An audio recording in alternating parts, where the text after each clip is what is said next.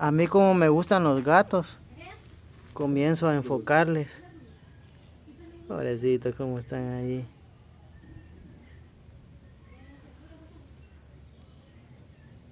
Micho, Micho, Micho. Pues este día este, venimos acá a visitar la casa de donde hermano Eliseo, hermano Cheyo, dice la, la eh, Beatriz, hermano Cheyo, es Cheyo. Entonces aquí está eh, Eliseo. Nos estaba comentando que ya pues ya, ya, ya pudo dormir un poco más, dice Eliseo. Sí, ya pudo dormir un poquito más. Ajá, que me tomé un, una, un medicamento, dijo un que había comprado. Y gracias a Dios, pues anoche pude dormir un poco, ya fue menos el dolor. Ajá. Y ahorita tengo, pero ya es poquito. Pues. Sí, siempre me agarra, pero me agarra y me quita. Sí, pues. Entonces, gracias a Dios, ¿verdad? Pues ya estuvo un poco mejor este día. Y gracias a Dios por un día más que nos, nos da, nos presta. Y aquí pues, aquí estamos con el Brandon Lee. Hola. Y este también Eliseo nos comentaba la vez pasada de de una deuda, ¿verdad? Que. Ajá. ¿Cómo, estu ¿Cómo estuvo eso, Eliseo? Que fue algo pues que salió la plática, ¿verdad? Pues estábamos hablando sobre la deuda que tiene nuestro amigo Dani, eh, hermano de Cindy, y pues Eliseo nos dijo que también tiene una su deuda. ¿Cómo está eso, Eliseo? Sí, lo que pasa es que cuando yo empecé a voltear, ¿verdad? Eh, no, como siempre, va, como no tengo recursos, dijo, no tengo cómo viajar y todo, yo empecé a asustarme por lo que, no, el, enfermedad, ¿verdad? Entonces, pues, como aquí, acá no, no, le prestan nada a uno si uno no da nada a cambio, entonces, la verdad tuve yo ese problema de ir a dejar lo que era el papel de la casita. ¿Cómo sí? Eh, tuve que dejarlo embargado, me, me, Eh, me el- prestaron. ¿El, el qué es el título? ¿Qué es? Sí, es el título. ¿Qué más? eh? O sea, prácticamente eh, ahorita por esos tres centavos a mí me pueden quitar esto, me pueden sacar porque está firmado. ¿Cómo? ¿Cuánto? ¿Cómo fue? ¿Cuánto fue Eh, lo que pidió? Eh, son, una- son como 10 mil quetzales. Es lo que le, Es lo que dieron, tengo que dar, ajá, es lo que tengo que dar. más los intereses, Eh, o en total, No, en total son los 10 mil. sí, en, todo en total son como 10 mil. 10 mil. Ajá, como 10 mil quetzales. Lo bueno que aquí rápido se gana. aquí, aquí me quitan la casa por 10 mil quetzales. Aquí, aunque está valorada en unos 60 mil, 50 mil, me la quitan en 10 mil o en 5 mil, porque como es el acuerdo que se llega. Y por lo mismo, va, ya está vencido el tiempo. ¿Y eso lo sacó cuándo? Eh, ya hace un, casi un año, un año. Desde cuando empecé casi mal. Ah, Ajá, ya está, más Y que logró todo dar- vencido. logró dar algunas cuotas, algunas dos cuotas. ¿cómo? Sí, sí, la verdad que sí, pero ya no pude, como ya no, no pude trabajar porque al hacer fuerza se me alteraba y intenté trabajar así porque yo intenté, pero fue cuando más me empeoré. Ah, Y, y aproximadamente cuánto es lo que debe? eh, como unos de, ahorita como unos de 10 a, a 13, ajá, ahí pienso yo que es lo que está, Lo, ah, ajá. Es lo ¿Y desde cuándo no ha abonado? Ah, ya tengo ya varios tiempos desde que dejé de trabajar. No ha abonado nada. No, no he abonado nada. ¿Como cuántos meses? Ah, sí, yo solo como tres meses pude, pude abonar. O sea que ahorita solo esperando que le digan, va, vamos. solo esperando que me vengan a echar para afuera, dijo. Ajá, y no puedo decir no porque como está firmado. Pero ¿será que lo consideran a usted por la enfermedad que tiene? Pues aquí ese es el problema. Aquí ese es el problema de que aquí lo que se firma, se firma y no nos consideran. ¿Para qué? Como ese es, eso así es aquí, ¿verdad? Y no- aquí hasta los cobradores mínimos pequeños le dicen a uno, bueno, a mí no me interesa, usted firma un convenio y ya. Ajá. Sí, porque hice la prueba con un cobrador que yo le debí una mesita, le estaba dando 50 quetzales a un ahorita enfermo y lo que hizo fue arrebatarme lo- los 100 quetzales se fue y me dijo que, que he vuelto para mí, no a mí. y entonces, aquí así son, aquí la gente es tajante y ajá, cuesta con ellos, pero ¿qué puede hacer uno, verdad? La necesidad a veces lo hace a uno, la angustia lo hace a uno hacer cosas que no, no debe hacer, ¿va? Pero por su familia uno a veces, por querer defenderse, dijo. Sí. Sí, hombre, la verdad que está dura la situación de nuestro hermano Eliseo porque pues aquel día me estaba comentando y pues yo no sabía, ¿verdad? Él tiene una deuda grande por igual como le pasó en el caso de Dani, ¿verdad? Que estábamos hablando de ese caso cuando él me comentó que pues nuestro amigo Dani por eh, querer solucionar un poco sobre la muerte de su papá, sobre el problema gastos, ¿verdad? Fúnebres a veces de su hermanita, que pues no han tenido una pérdida bastante constante, le murió el papá, la hermanita, la mamá se le puso enferma, y esto de Cindy, pues que también, híjole, no ha sido fácil para ellos, y el pobre Dani, pues siendo el mayor, el responsable, le ha tocado que... Dame la mano, hombre, vos.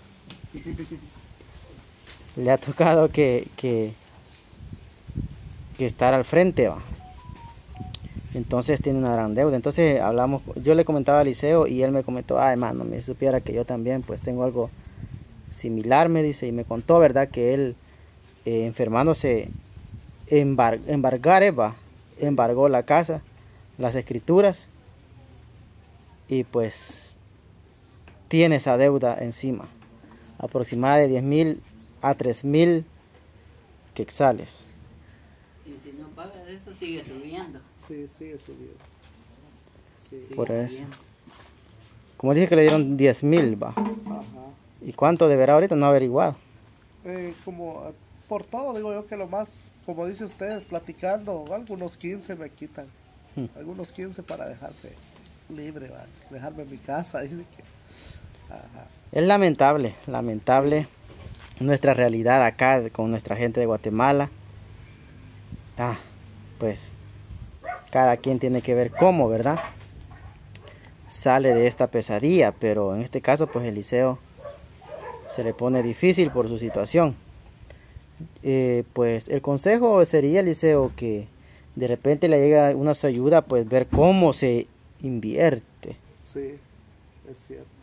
porque ah, no sé, es bien complicado, porque quién más nos va a echar la mano, pues, Sí, o sea, tenemos, que ver por nuestros propios medios también, ¿verdad? Cómo salir adelante. Y pues primero Dios, pues que Dios le dé eh, la escapatoria a eso, ¿verdad? Le dé la solución a su situación. Bueno, entonces vamos... Ah, ¿Qué pasó?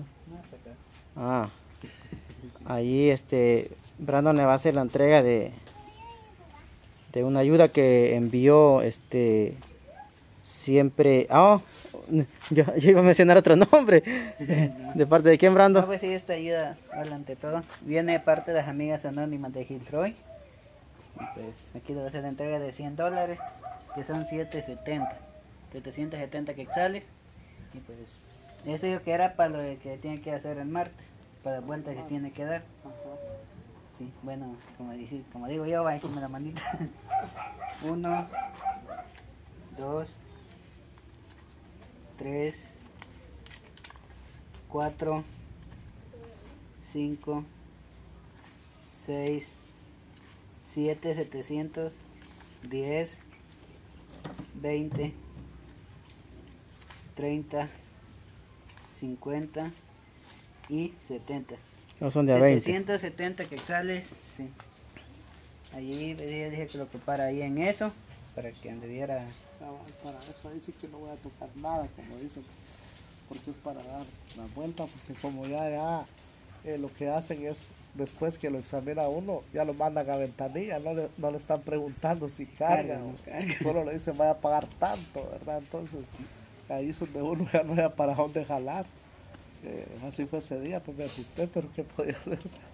Pero gracias a Dios, este, Dios bendiga a estas personas, de veramente. Dios las bendiga de todo corazón, se lo digo, que a donde quiera que estén, Dios les va a multiplicar, Dios les va a guardar en su trabajo, su familia. Eh, muchas, muchas gracias, muchísimas gracias. La verdad no tengo palabras para expresarme, para agradecerles. Muchísimas gracias. Ah, muchas gracias a las amigas anónimas de Gerroy. Siempre va haciendo la invitación para que más personas se apoyen a este caso. Aquí para hacer, para llegar al final de todo esto, ¿verdad? Y para que sigan apoyando el liceo. Pues muchas gracias. Se siente bonito, la verdad, cuando uno este, hace de corazón las cosas, se siente muy bonito. Yo la verdad, pues, mi deseo es que tanto usted como otras personas puedan salir de sus situaciones en las que están, porque hoy son ustedes, mañana podemos ser nosotros también. Y vamos a necesitar también el apoyo, ¿verdad?, de muchas personas. Entonces, no hay nada más bonito, más eh, de felicidad que, que ver el respaldo de Dios y el respaldo de las personas hacia nuestras vidas. O sea, mire usted, pues, me contaba que tocó puertas, y nadie, pues, nadie. Y yo le digo, bueno, es lamentable, es lamentable lo que se ve. Es cierto, vivimos en una situación bien difícil, pero yo creo que uniéndose muchas personas de granito en granito podemos hacer mucho. Entre muchos. Es cierto, uno solo aquí es bien difícil, acá. pero yo creo que ya uniéndose varios aquí mismo, bastantes. Un ejemplo, como hablamos aquel día, una iglesia donde estamos, se ponga al frente y diga, bueno, vamos a luchar por esta vida, por esta alma. Vamos a luchar. Nos vamos y yo voy a poner la cara a otras iglesias. Ese es amor. Sí, pero aquí no se vive eso. Aquí es lamentable porque la verdad se subió, no sé, en el Facebook se vio que se subió en el Campo Blanco, así se llama, ¿verdad? Campo Blanco Berea. Se subió lo que era la, la situación mía pero hasta este momento, de toditos, de toditos, ninguno mandó, pero ni siquiera un solo quetzal. ¿Ya lo habían subido hace tiempo? Sí, sí, cuando me trajeron de operarme. Ah. Igual, no, nadie, ninguno, ahí sí que no.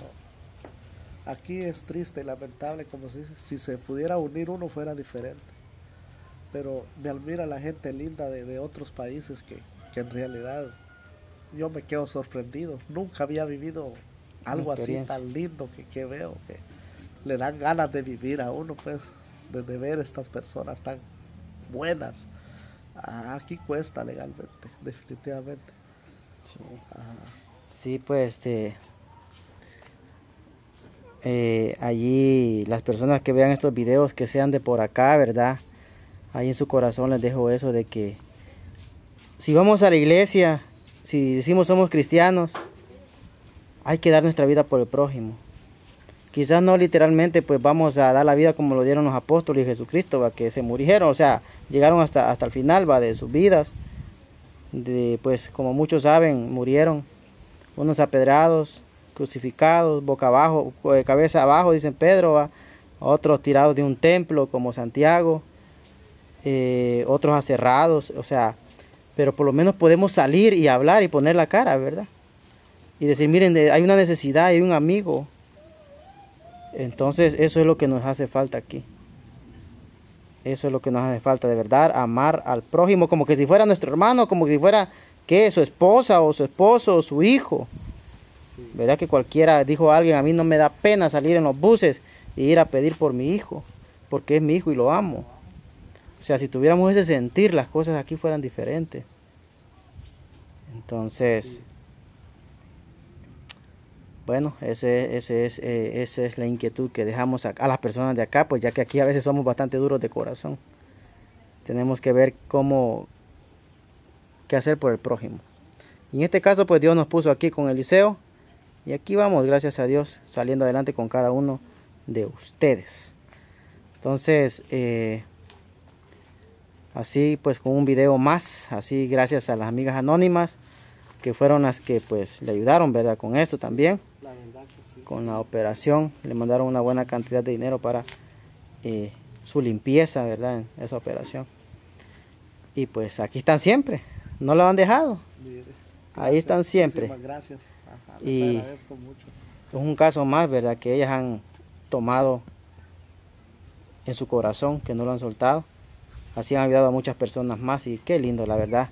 Que Dios me las bendiga, que Dios las guarde, Dios proteja eh, sus vidas, guarde sus pasos, su, su salida su entrada, donde quiera que anden. El Señor las cuide y las guarde de todo mal. Bueno, llegamos al final de este video y nos vemos.